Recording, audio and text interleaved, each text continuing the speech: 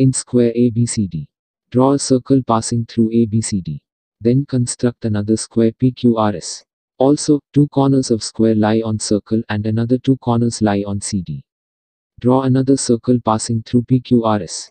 Then find the relation between radius of bigger circle and radius of smaller circle. Pause the video and try to solve this problem.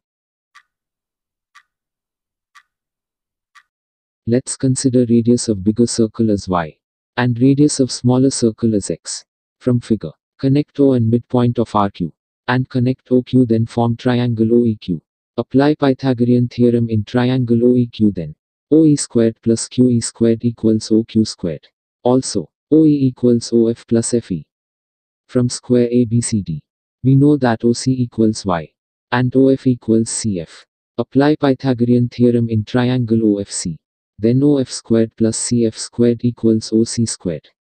So 2OF squared equals Y squared. That is OF equals Y by root 2. So OF equals CF equals Y by root 2. Similarly from square PQRS, O1E equals QE equals X by root 2. And FE equals 2 into O1E.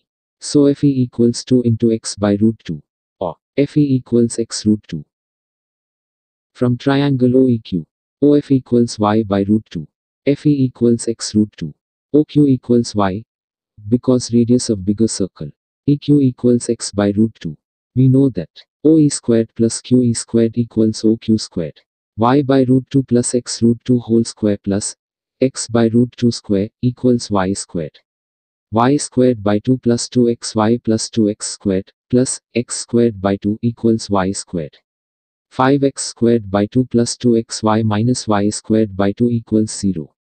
Or 5x squared plus 4xy minus y squared equals 0. So 4x squared plus 4xy plus x squared minus y squared equals 0. 4x into x plus y plus x plus y into x minus y equals 0. That is, x plus y into 5x minus y equals 0. X not equal to minus y because length is not become negative. So 5x minus y equals 0. Or y equals 5x.